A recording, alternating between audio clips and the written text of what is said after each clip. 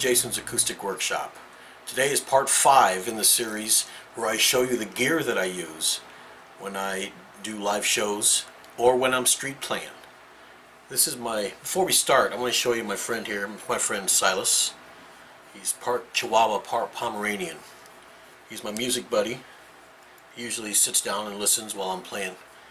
So, but uh, six years old, well behaved sometimes when there's dogs around. He doesn't. So, but we're going to go ahead and let him down for a little bit. We're going to get to the A2. It's from Zoom and it's an acoustic pedal. Alright, so let's get to that. Alright, ladies and gentlemen, this is the Zoom A2 acoustic effects pedal. This pedal is used specifically for acoustic guitars. Some people like to run through an amp that already has effects in it. Totally fine. It's up to you.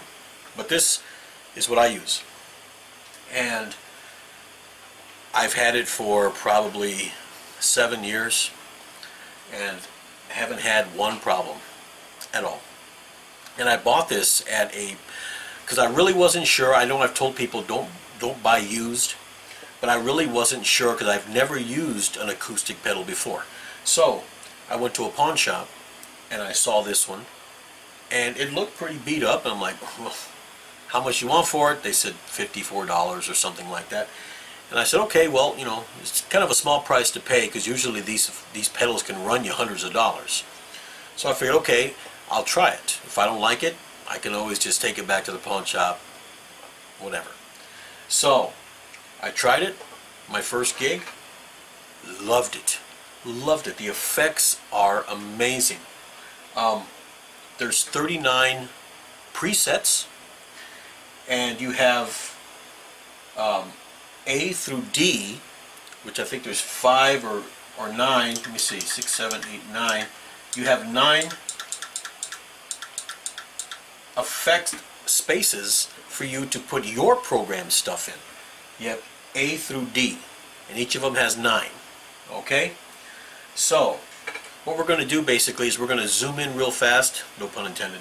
We're going to zoom in and I'm going to show you the uh, knobs here, okay? I'm going to run you through the stuff that I use. Uh, if you wanted to use these, and you can just go buy one. Know, like I said, if you want to buy a cheap one, like I said, this is an A2. I'm sure they're they've got them, uh, a lot better. Zoom has got a lot uh, more updated products, but this one here, I'm going to play this thing until it dies. And so far, it is running like a champ. Alright? So, what I'm going to do is I'm going to zoom in, and I am going to show you what it says on there, and uh, then we'll start playing around with it. Alright? Alright, ladies and gentlemen, here it is, as you can see. Got it zoomed in. You have this knob here. If, if you can, guys can see that, let me bring it over this way so you can see it a lot better. There we go. You have this knob here, and it basically it it takes you to the effect that you want. Okay, you have the model, which the model means you can you can emulate a, an amp. If you have a, a, Marshall or some sort of acoustic amp, you can you can uh, use that to to uh, emulate that. Okay, um, you'll have to look at the instruction booklet. That way you can see what models of acoustic amps that it um, emulates.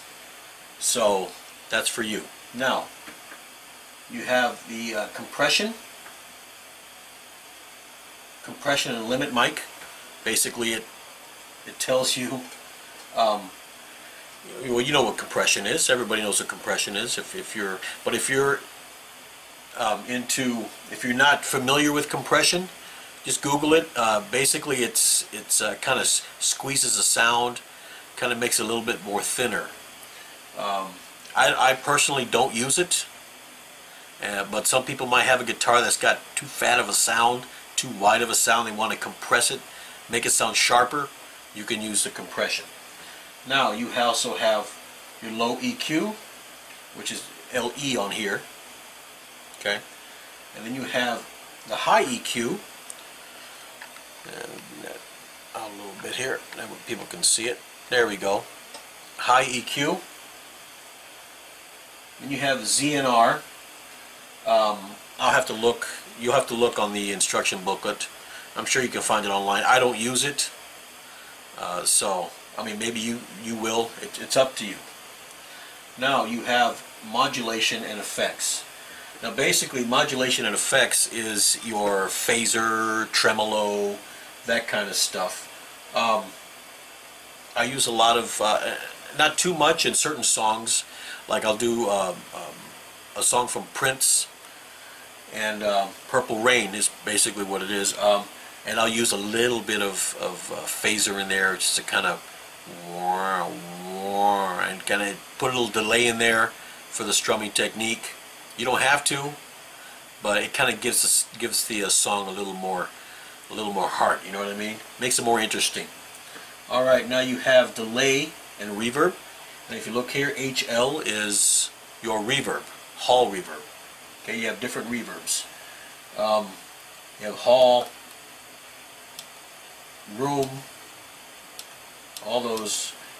Then you get to the delay, which is here. Alright, you use the effects type plus and minus to get to it. Okay?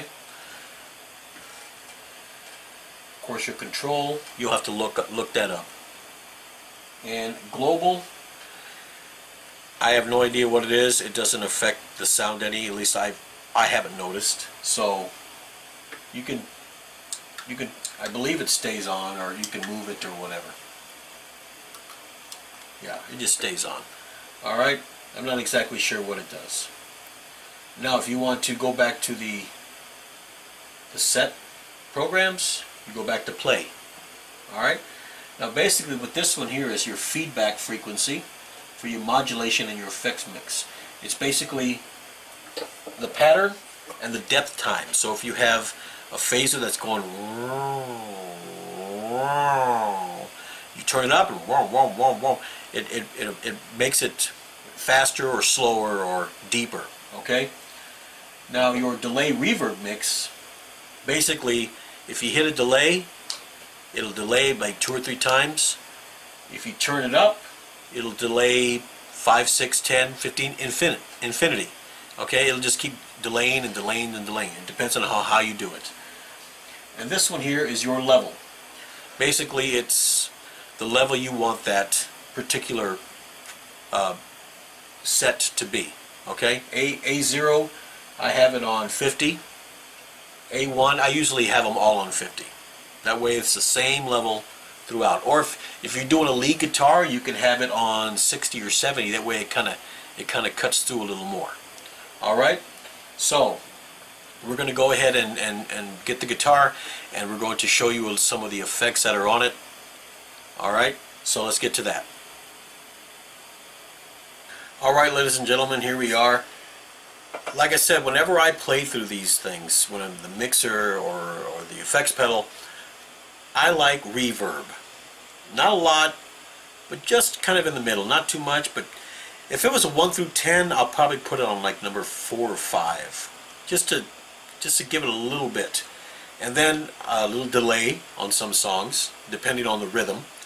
Or I use a phaser, like I said on Purple Rain when I do that and just it kind of gives it gives the song a little flavor, you know.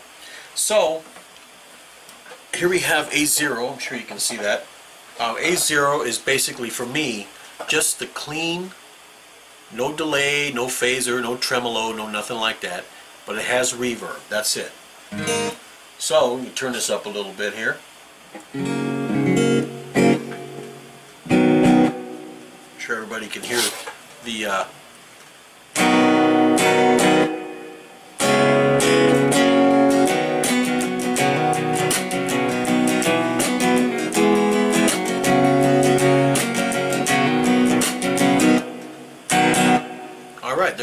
got a little, little bit of reverb. Not much to make you sound like you're in a can or something like that, but just enough to kind of to kind of give that that guitar sound some body. You know, not much. You don't want to do too much. Now, if you go to A1, and like I said, these here you can use for your, your, your feet, your foot pedals, all right? Here you have a little bit of delay, kind of a moderate delay. It doesn't go on a lot, it just kind of maybe two or three times. Yeah, about two or three times. Yeah. Now, I use that uh, for when I'm doing a kind of a moderate song, like when I do um, a little bit of John Mayer, uh, goes up.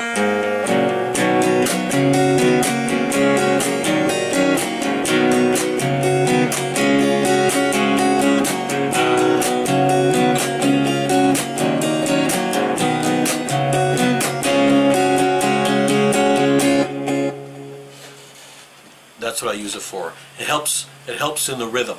It helps in the rhythm. All right. Let me bring it down a little bit. Okay. Now A2 is what I use for a little bit of a faster rhythm. Now, like I said, they're all.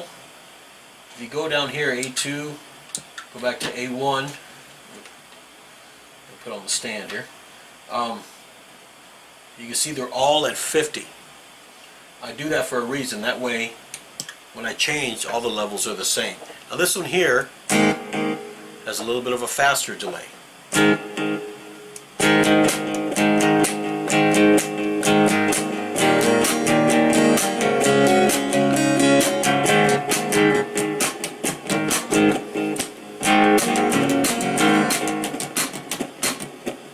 Okay? You just got to get the rhythm. So what you want to do is when you're playing this, kind of go, you want to mute it and get the rhythm. There you go. See how the delay helps you.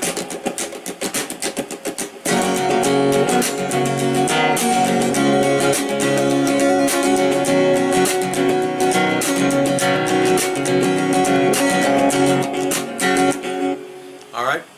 Now I use that one for when I'm doing faster songs.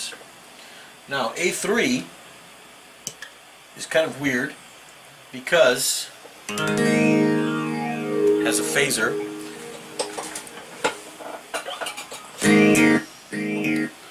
Alright, and some some uh, longer delay. Now I use I do this one whenever I do AWOL Nation uh, Sail, and this is the only one I use it for. So basically, it's uh,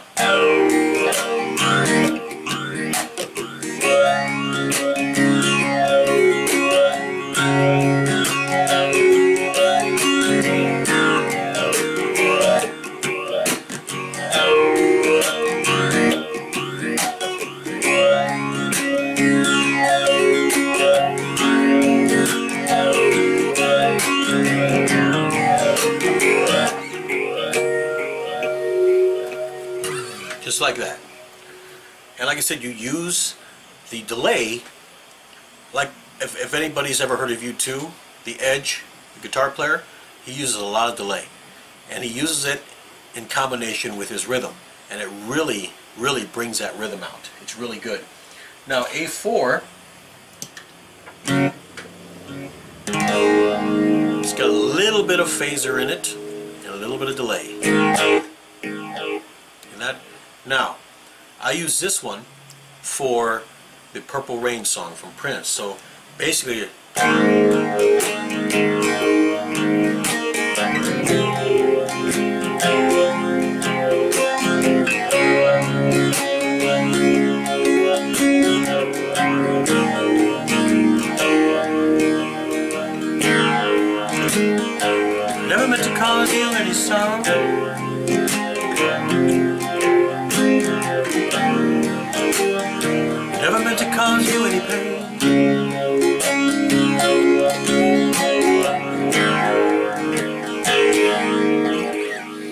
So, like I said, I work with delay, get a little bit of phaser in there, gives it a whole new feeling. And it's really great. Because it kind of makes everything just kind of like go back and forth. You don't want too much, you just want a little light touch of it, just to kind of give it a little bit of uh, character. Alright? Now A5 a little bit of a faster delay. And like I said, this is what I use. Delay, little bit of phaser sometimes. I'm not really into the tremolo because I don't have any songs that I do for tre with tremolo in it. Um, but just delay. And most of the songs that I do is just regular, run-of-the-mill um, reverb. That's all it is. like I said, if you want to get one of these, um, check, I guess, online. I'm sure they, they sell used stuff online. If you're not sure, if you don't want to spend all the money in getting a new one, and you want to try it out first, that's what you need to do. That's what I would recommend you do. Um, as far as recommending this pedal, I recommend it highly. I've had it for seven years, and I haven't had any problems with it. None. I haven't had to take it to the shop for anything. It's been dropped, it's been stomped on, and when I bought it used for like $54, no telling how many other people had had it and stomped on it and dropped it. And it's got a, it's a metal case with rubber sides. Like I said, the, the wire still works. And it has in the back, let me put the guitar down here real fast for you.